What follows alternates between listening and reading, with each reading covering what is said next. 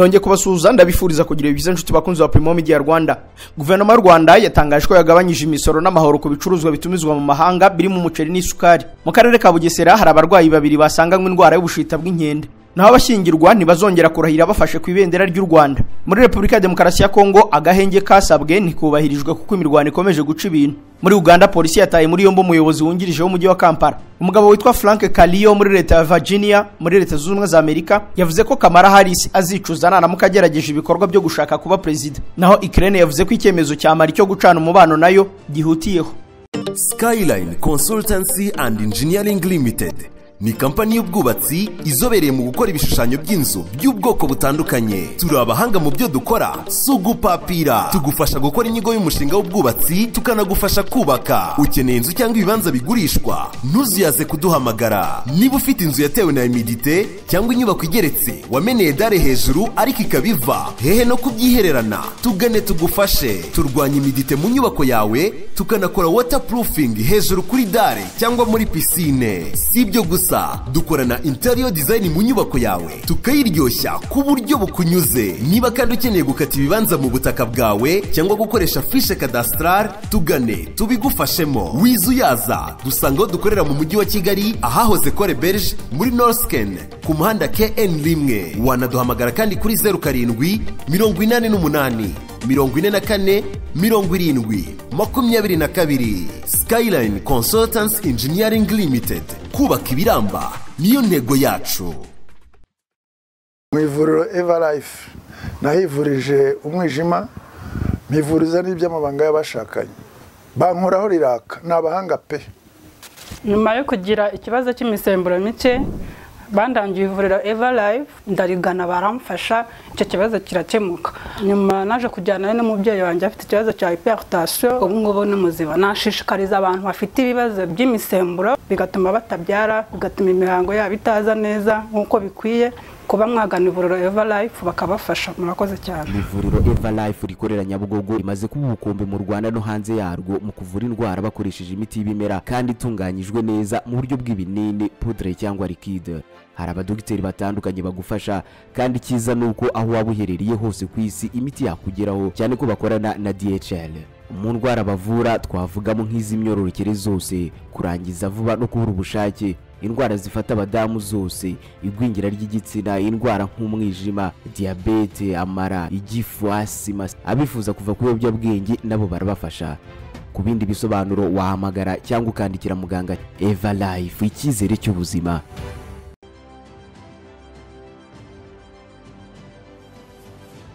Baha ikaze muri aya makuru arambuye mugiye kugezwaho nanjye jean dodier kanijabo tuyahere kuri ivuga ko guverinoma yatangaje impinduka zizagenderwaho mu misoro mu bibiri na makumyabiri na kane bibiri na makumyabiri na gatanu.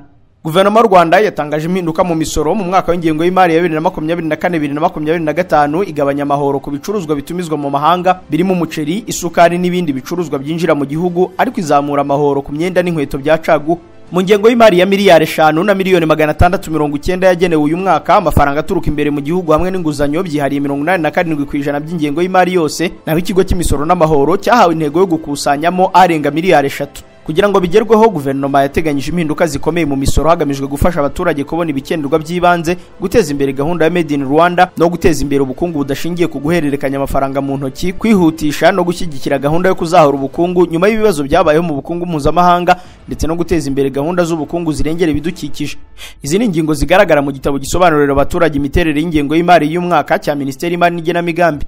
Izi mpinduka zigaragaza ko umuceri uzishyura amahoro ku bicuruzwa byinjira mu gihugu ku gipimo cya mirongo ine na gatanu ku ijana aho kuba mirongo irindwi na gatanu. Isukari ikazishyura amahoro ku bicuruzwa byinjira mu gihugu ku gipimo cya makumyabiri na gatanu ku ijana aho kuba ijana ku ijana. Ibicuruzwa byinjizwa mu gihugu bigenewe isoko ry'inzego zishinzwe umutekano byo bizishyura amahoro ku bicuruzwa byinjira mu gihugu ku gipimo cya zeru ku ijana aho kuba makumyabiri na gatanu ku ijana. Imashini nini na zo zizishyura amahoro ku bicuruzwa byinjira mu gihugu ku gipimo cya zeru ku ijana aho kuba icumi ku ijana. Mu gihe imodoka zitwara ibicuruzwa bifite uburemere burenze toni eshanu ariko butarenze toni makumyabiri zo zizishyura ku gipimo cy'icumi ku ijana aho kuba makumyabiri na gatanu ku ijana. Bisi zitwara abantu barenze makumyabiri na batanu zizishyura amahoro ku bicuruzwa byinjira mu gihugu ku gipimo cy'icumi ku ijana aho kuba makumyabiri na gatanu ku ijana. Imodoka zitwara abantu mirongo itanu kuzamura zo zizishyura amahoro ku bicuruzwa byinjira mu gihugu ku gipimo cya zeru ku ijana aho kuba makumyabiri na gatanu ku ijana. Imashini zo mu nganda n'ibikoresho by'ibanze bikoreshwa mu gukora imyenda n'inkweto bizishyura amahoro ku gipimo cya zeru ku ijana aho kuba icumi ku ijana cyangwa makumyabiri na gatanu ku ijana. Ibikoresho by'itumanaho byo bizishyura amahoro ku bicuruzwa byinjira mu gihugu ku gipimo cya zeru ku ijana aho kuba makumyabiri na gatanu ku ijana. Ni mu gihe urutonde rw'ibikoresho by'ibanze bizemezwa bikoreshwa mu nganda bizishyura umusoro ku gipimo cya zeru ku ijana aho kuba icumi makumyabiri na gatanu cyangwa mirongo itatu na gatanu ku ijana. Hari kandi ibikoresho bifasha mu guhererekanya amafaranga mu buryo bw'ikoranabuhanga. Nabyo bizishyura amahoro ku bicuruzwa byinjira mu gihugu ku gipimo cya zeru ku ijana aho kuba makumyabiri na gatanu ku ijana amavuta atunganyijwe yo guteka yazishyura umusoro ku bicuruzwa byinjizwa mu gihugu ku gipimo cya makumyabiri na gatanu ku ijana aho kuba mirongo itatu na gatanu ku ijana. Ibicuruzwa bifite ubuso bw'icyuma cyangwa ibyuma byoroshye byo bizishyura amahoro ku bicuruzwa byinjira mu gihugu ku gipimo cya zeru ku ijana aho kuba icumi ku ijana. Mu guteza imbere gahunda ya made in rwanda bimwe mu bicuruzwa bizishyura amahoro ku bicuruzwa byinjira mu gihugu ku gipimo cya mirongo itatu na gatanu ku ijana aho kuba makumyabiri na gatanu ku ijana.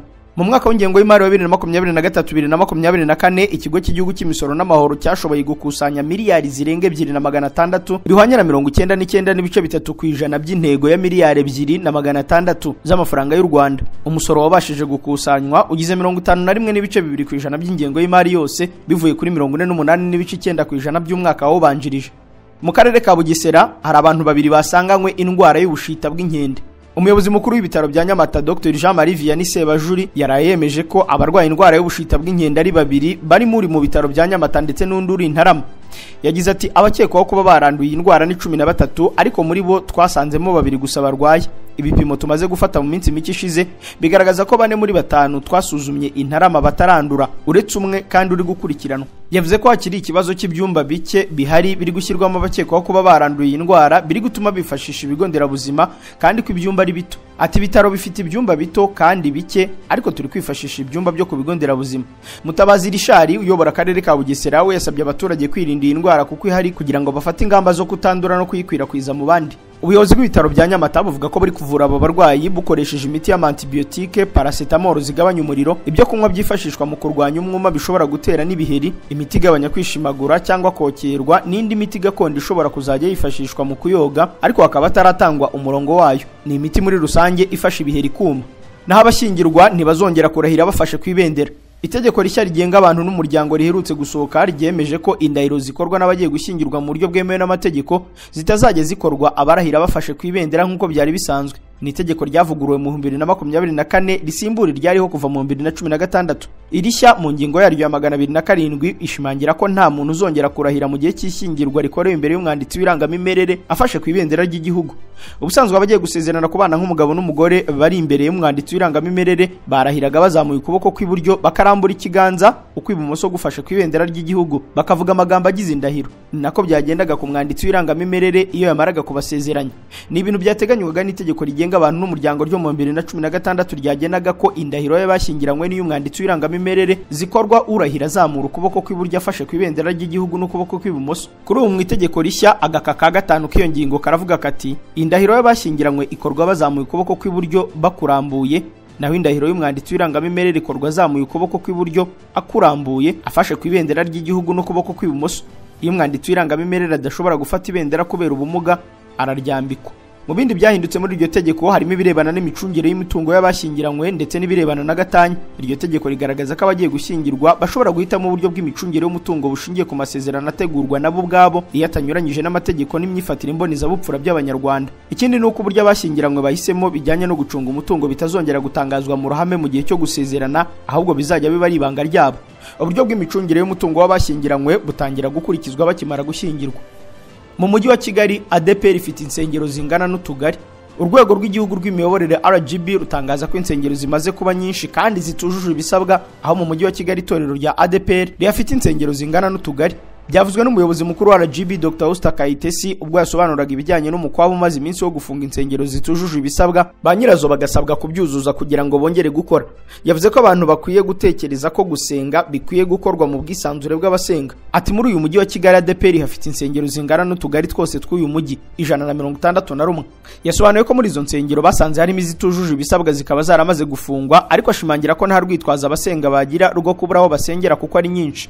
Kugeza ubu rgb ishima ko hari insengero ziteza imbere urwego rw'uburezi mu rwanda aho mirongo itanu na kane ku ijana by'ibigo by'amashuri yisumbuye ari ay'imiryango ishingiye ku myemerere. Ni mu gihe iyo miryango ifite kaminuza zirenga icumi. Hari umuyobozi muri adeperi wafunzwe. Mu gihe hamaze iminsi havugwa inkubiri yo gufunga insengero zitujuje ibisabwa nk'uko bitangazwa n'urwego rw'igihugu rw'imiyoborere bamwe mu banyuranye n'amabwiriza yashyizweho batangiye gutabwa muri yombi. Nsengiyumva francois umuyobozi w'itorero adeperi ngarama mu karere ka gatsibo mu murenge wa kabarore mu kagari ka nyabikiri mu mudugudu wa ngarama yatawe muri yombi azira kunyuranya n'amabwiriza ya leta. Yafashwe arimo gusengana n'abakristo kandi urusengero rwarafunzwe kubera kutuzuza ibisabwa. Rugaravu jean claude umunyamabanga nshingwabikorwa w'umurenge wa kabarore yabwiye ikinyamakuru bwiza ko nsengiyumva francois yatawe muri yombi ashinjwa icyaha cyo kunyuranya n'amabwiriza ya leta avuga ko kuri ubu afungiye kuri sitasiyo ya kabarore aho yashyikirijwe urwego rw'ubugenzacyaha. Rugaravu yakomeje agira inama abaturage yo gukomeza kubahiriza gahunda za leta abibutsa ko kunyuranya na zo bigize icyaha gihanwa n'amategeko. Hari abakora ubushakashatsi kuri jenoside yakorewe abatutsi minisiteri y'ubumwe bw'abanyarwanda itabizi. Minisiteri y'ubumwe bw'abanyarwanda n'inshingano mboneragihugu yasabye kurushaho kugenzura abakora ubushakashatsi kuri jenoside yakorewe abatutsi. Impamvu ngo ni uko hari abitwikira ubwo bushakashatsi bagasiga isura mbu rwanda binyuze mu guhakana no gupfobya jenoside nk'uko byagaragaye muri raporo yatanzwe n'abasenateri.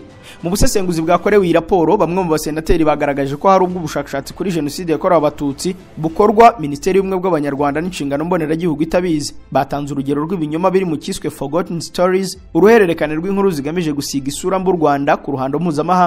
Ni nyuma y'uko inteko rusange ya sena yagejejweho raporo ya komisiyo y'ububanyi n'amahanga n'ubutwererane n'umutekano hagamijwe kungurana ibitekerezo n'iyi minisiteri. Ku ngamba zo guhangana n'ihakana n'ipfobya rya jenoside yakorewe abatutsi binyuze mu bushakashatsi. Ni raporo ije ikurikira ibiganiro nyunguranabitekerezo byabaye mu kwezi kwa gatatu uyu mwaka bigahuriza hamwe inzego zifite aho zihuriye no guhangana n'iki kibazo gikomeje kugaragara cyane cyane mu bihugu bihana imbibi n'u rwanda. Perezida wa komisiyo y'ububanyi n'amahanga ubutwererane n'umutekano honorable murangwa ndangiza adija avuga ko minisiteri y'ubumwe bw'abanyarwanda n'inshingano mboneragihugu ifite umukoro wo kujya igenzura ishyirwa mu bikorwa ry'amabwiriza y'abakora ubushakashatsi ku mateka ya jenoside. Kimwe mu bizatanga igisubizo ngo ni ikigo kiri kubakwa mu karere ka kamonyi. Kizakusanyirizwamo ibimenyetso bihagije by'amateka ya jenoside ku buryo bizajya bifasha abashaka kumenya ayo mateka mu buryo burambuye kikaba kizatwara miliyoni zisaga magana ane z'amafaranga y'u rwanda. Mu makuru avugwa mu turere muri IPRC Karongi habonywe imibiri cumi n'umunani y'abazize jenoside yakorewe abatutsi. Mu ishuri rikuru ry'imyuga n'ubumenyingiro IPRC Karongi hasanzwe imibiri cumi n'umunani y'abatutsi bazize jenoside. Amakuru y'ikinyamakuru bwiza cyamenye ngo ni uko ubuyobozi nabwo bwamenye aya makuru buyavanye ku mukozi wa kampani ya isco warimo atambuka akabona imyenda akagira amakenga. Gashana na saiba umunyamabanga nshingwabikorwa w'umurenge wa bwishyura yahamije aya makuru. Ati igiti kiri ku mwaro w'ikiyaga cya kivu cyararidutse maze ubwo umusekirite yarimo atambuka abona utuntu dusa n'imyenda abibwira ubuyobozi nabwo burabitumenyesha. Tuhageze natwe tugira amakenga dupanga umuganda kandi uyu munsi twashakishije dusangamo imibiri cumi n'umunani. Akomeza avuga ko nk'ubuyobozi bibasaba ubushishozi no kutima umwanya babahaye amakuru bose kuko hari abantu bireze bakemera icyaha bagasaba n'imbabazi ariko ntibatange amakuru yose ariho bahera basaba abaturage gutanga amakuru ahantu babona ibimenyetso. Iyi mibiri yavanywe mu ishuri yagiye kuba iruhukiye mu rwibutso rwa gatwaro mu gihe itegerejwe gutunganywa kugira ngo izashyingurwe mu cyubahiro. Iyi mibiri iri kuboneka muri iri shuri niyo abahoze ari abakozi n'abanyeshuri b'ibyahoze ari eyafo nyamishaba na itokibuye ndetse n'abari baturiye ibi bigo bazize jenoside yakorewe abatutsi mu gihumbi magana cyenda mirongo icyenda na kane. Urwibutso rwa nyamishaba ruruhukiyemo imibiri y'abatutsi ibihumbi bitatu magana atanu biciwe muri eyafo nyamishaba no mu nkengero zayo kuko abandi benshi imibiri yabo yajugunywe mu kiyaga cya kivu i karongi kandi umusore yasanzwe mu mugozi yapfuye nyuma yo gushwana na bagenzi be bapfa umukobwa. Sinzi umunsi feniyasi wo mu karere ka karongi yasanzwe mu mugozi yapfuye nyuma yo gukimbirana n'abasore bakora ubucukuzi butemewe bw'amabuye y'agaciro bapfa umukobwa. Byabereye mu isantere ya kibirizi mu mudugudu wa kimigenge mu kagari ka kibirizi k'umurenge wa rubengera. Isaa tanu z'ijoro uyu musore yakimbiranye n'abakora ubucukuzi butemewe bw'amabuye y'agaciro bapfa umukobwa wicuruza bari biriwe basengerera bakanamugurira ikabutura y'ibihumbi umunani. Akaza kubacika bakamusangana na sinzi umunsi. Aba bacukuzi basanzwe bazwiho kugira urugomo barwanye na sinzi umunsi abanyerondo barabakiza arataha ajya kuryama isaa kumi n'ebyiri z'igitondo umukoresha wa sinzi umunsi mu kazi ko kwenga no gucuruza imisururu yageze mu nzu uyu musore yararagamo mu isantere asanga yapfuye ahita ahamagara ubuyobozi mukase valentine uyobora akarere ka karongi yavuze ko icyagaragaye ari uko uyu musore yiyahuye ati icyagaragaye ni uko uriya musore yiyahuye ariko yiyahuye hari abantu bahoranye n'ubu hari abari gukurikiranwa mu batawe muri yombi harimo uwo mukobwa watumye akimbirana na bagenzi be ndetse n'abakora ubucukuzi bashwanye nawe meya mukase yihanganishije umuryango wa nyakwigendera asaba urubyiruko kurangwa n'imyitwarire myiza. Umurambo wa sinzi umunsi feniyasi uri ku bitaro bya kibuye gukorerwa isuzuma mbere y'uko ushyingurwa. Mu makuru avugwa hanze y'u rwanda muri repubulika ya demokarasi ya kongo agahenge kasabwe ntikubahirijwe imirwano ikomeje guca ibintu. Guhagarika imirwano ntibyigeze byubahirizwa nk'uko byari byemejwe nk'umwe mu myanzuro yafatiwe muri angola mu nama yahuje intumwa z'u rwanda n'iza kongo hagamijwe gushaka igisubizo kirambye cy'umutekano muke mu burasirazuba bwa kongo intumwa z'u rwanda n'iza kongo ziheruka guhurira u rwanda muri angola mu biganiro bigamije gushaka umuti w'intambara yo mu burasirazuba bwa kongo umwe mu myanzuro yafashwe ni uguhagarika imirwano byagombaga guhita bishyirwa mu bikorwa kuva ku itariki ya kane z'uku kwezi. Perezidansi ya ngora yavugaga ko uku guhagarika imirwano bizagenzurwa n'itsinda ribishinzwe. Kugeza ubu muri kongo imirwano irakomeje ndetse umutwe wa M23 ukomeje kwigarurira utundi duce two muri rucuru masisi nyiragongo na rubero M23 ku cyumweru yatangaje ko yafashe umujyi wa ishasha uherereye ku mupaka wa repubulika ya demokarasi ya kongo na uganda mu majyaruguru y'intara ya kivu ya ruguru muri kilometero mirongo itandatu uvuye mu mujyi wa rucuru radiyo okapi ivuga ko ishasha yafashwe nyuma y'imirwano yamaze amasaha mu gitondo cyo ku cyumweru hagati ya M23 n'abarwanyi ba wazalendo ahitwa buganza muri kilometero cumi n'ebyiri uvuye ishasha. M23 yafashe uyu mujyi ku cyumweru ari nabwo ibyemezo by'u Rwanda byagombaga gutangira gushyirwa mu bikorwa. Ni umutwe ariko watangaje ko utarebwa n'amasezerano y'agahenge yumvikanyweho mu cyumweru gishize n'abategetsi b'u Rwanda na Kongo kuko utari uhagarariwe. Mu mpera z'icyumweru gishize igisirikare cya Kongo cyavuze ko kizisubiza uduce twose twafashwe na M23. Ibi na byo bishobora kuba bivuze ko imirwano igomba gukomeza mu gihe cyose igisirikare cya leta kitarigarurira uduce twose cyambuwe n'uyu mutwe. Aha muri repubulika ya demokarasi ya kongo kisangani imiti ifite agaciro ka miliyari n'igice yahiye irakongoka depo nini y'ikigo gishinzwe gukwirakwiza imiti cya kisangani yasenywe bikomeye n'inkongi y'umuriro nk'uko byatangajwe na dr. Eme yane umuyobozi w'icyo kigo ngo imiti ifite agaciro ka miliyoni irenga y'amadolari y'abanyamerika yahiye irakongoka ikamyo ishinzwe kuzimya umuriro mu mujyi yahageze itinze isanga imiti yose yamaze gutwikwa n'umuriro. Dr. Yane yavuze ko iyi miti yari igamije kurwanya igituntu virusi itera sida malariya na covid cumi n'icyenda nk'uko radiyo kapi yabitangaje. Yagaragaje kandi akababaro katewe n'imyitwarire y'abantu bamwe bari aho bitwaje icyo kibazo bakiba ibicuruzwa byinshi. Iyi depo ifite ubushobozi bwa metero kibi ibihumbi magana atatu yari ibitse imiti myinshi ishobora gukenerwa n'ibigo nderabuzima nka makumyabiri na bitatu mu ntara ya copo ndetse n'ibindi bine biherereye mu majyaruguru y'intara ya maniyema. Inkomoko y'uyu muriro kugeza na n'ubu ntiramenyekana. Naho abanyekongo barenga ibihumbi bibiri bamaze guhungira muri uganda mu minsi itatu ishize. Impunzi ibihumbi ziturutse muri repubulika ya demokarasi ya kongo ziri kwinjira muri uganda nyuma y'imirwano ikaze hagati y'ingabo za leta n'imitwe itandukanye yitwaje intwaro mu burasirazuba bwa kongo meja kiconco tabaro ushinzwe amakuru rusange muri diviziyo ya kabiri mu ngabo za uganda yatangaje ko impunzi zirenga ibihumbi bibiri z'abanyekongo zageze muri iki gihugu mu masaha mirongo irindwi n'abiri ashize ziva mu turere twa katwiguru kiwanja binza kiseguro kiringa masisi bwenza walungu na rucuru tabaro yashimangiye ko abaturage bo mu turere twegereye umupaka wa uganda cyane cyane abasaza abarwayi abagore batwite ndetse n'abana ari bo biganje mu bahunze. Izi mpunzi ziri kwinjirira bunagana na nteko muri kisoro keshyero na ishasha muri kanungu n'izindi nzira nto. Ni nyuma y'uko kugeza ubu imirwano ihanganishije M23 na FRDC ikomeje aho umutwe wa M23 ukomeje kwigarura uduce tumwe na tumwe. Meja Tabaro avuga ko mu bahunze harimo abapolisi mirongo icyenda n'umunani b'abanyekongo bakiriwe ku mupaka wa Ishasha kuwa gatandatu kandi ko barimo gufashwa hakurikijwe amabwiriza mpuzamahanga ndetse bakaba barambuwe n'imbunda mirongo ine n'eshatu bahunganye. Aha muri Uganda rero polisi yataye muri yombi umuyobozi wungirije w'umujyi wa Kampala.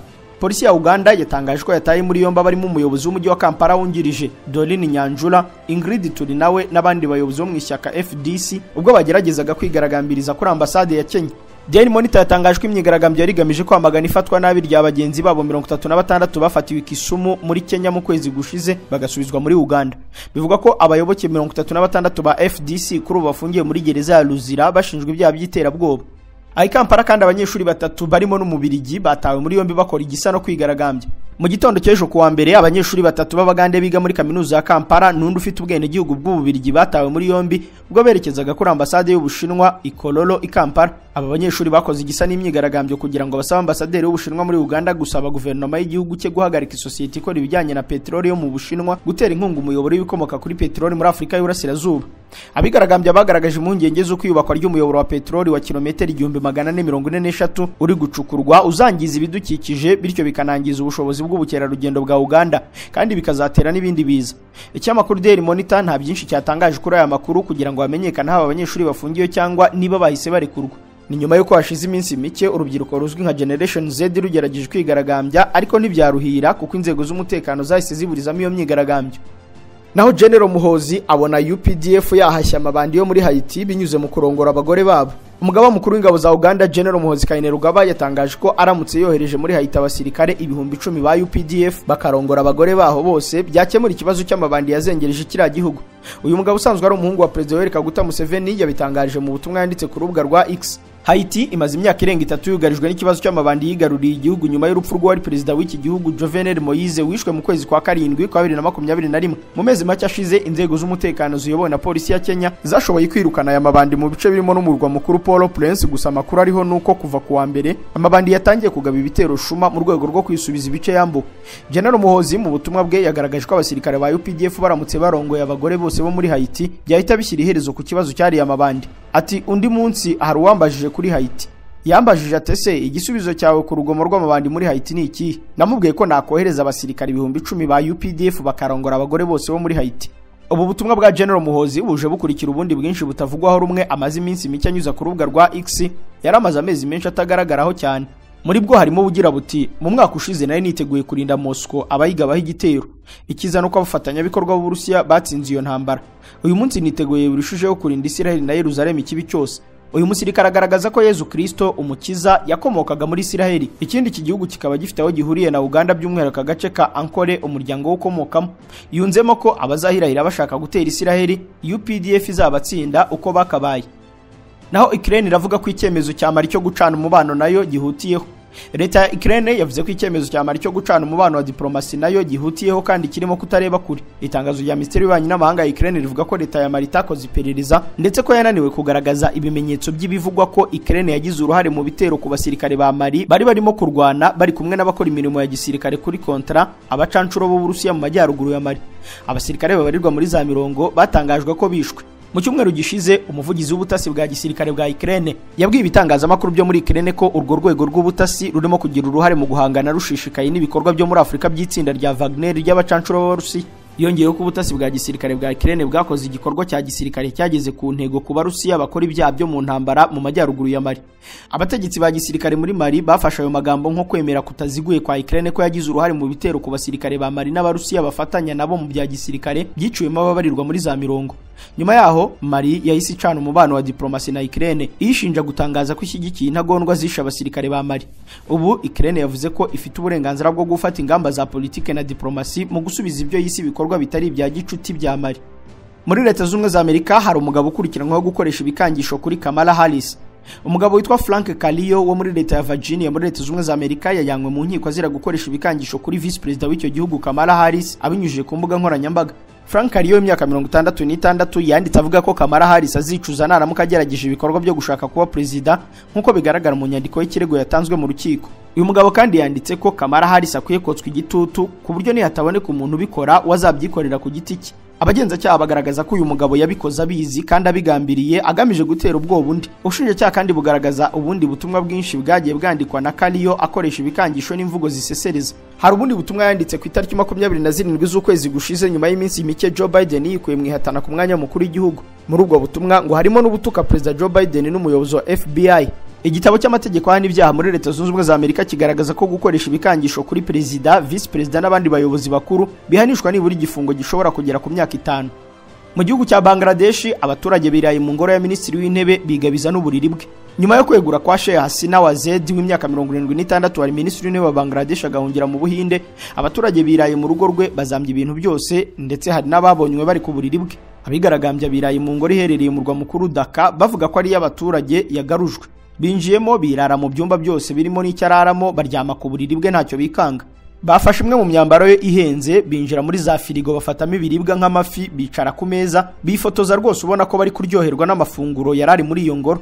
Reuters yanditse ko bageze n'aho burira ikibumbano cya se witwa Sheikh Mujibur Rahman akaba umwe mu batumye Bangladesh yigobotora ingoyi ya Pakistani batangira kugitema bifashishije amashoka. Umuhungu wa Sheikh Hasina Wazedi witwa Sajib Wazedi yabwiye BBC ko nyina yahunze ko bw'umutekano we. Ariko nyuma yo kubisabwa n'abo mu muryango cyakora ngo nyina yatunguwe no kuba abo yakoreye kugira ngo batezwe imbere ari bo baciye ruhinga nyuma bakamutera amabuye bamweguza. Umugaba w'ingabo za Bangladesh Waker Uz Zamani yavuze ko bidatinze harashyirwaho guverinoma y'inzibacyuho yo gukomeza guhangana n'ibibazo iki gihugu cyo muri Aziya gifite. Amerika yatangaje ko ubuyobozi bw'inzibacyuho bushobora kujyaho bugomba gutangira inzira ya demokarasi idaheza ndetse bukagarura amahoro byihuse. Bivugwa ko ku munsi w'ejo kuwa mbere abantu barenga makumyabiri baguye muri iyi myigaragambyo bakiyongera kuri mirongo icyenda bayiguyemo ku cyumweru. Imibare igaragaza ko mu minsi mirongo itatu abarenga magana atatu barimo abapolisi cumi na batatu baburiye ubuzima muri iyo myigaragambyo. Ibihumbi by'abaturage birakomereka ndetse abarenga ibihumbi icumi batabwa muri yombi. Ni imyigaragambyo yatangiye mu kwezi kwa karindwi uyu mwaka itangizwa n'abanyeshuri biga muri za kaminuza basabaga ko iringaniza mu mirimo ya leta ryakurwaho. Iryo ringaniza ryahaga amahirwe yisumbuye abana bavuka mu miryango y'abasirikare bagize uruhare mu rugamba rwo kubohora bangladeshi abo mu bwoko bwasigajwe inyuma n'amateka ndetse n'abandi Nshuti bakunzi ba Primo Media Rwanda inkuru yo muri Bangladesh niyo dusoreje amakuru ari kugarukwaho tuze kongera guhura ku mugoroba ubwo turaba tureba mu makuru y'ingenzi yaranze uyu munsi. Ni Jean Dodier Kanijabo. Bye.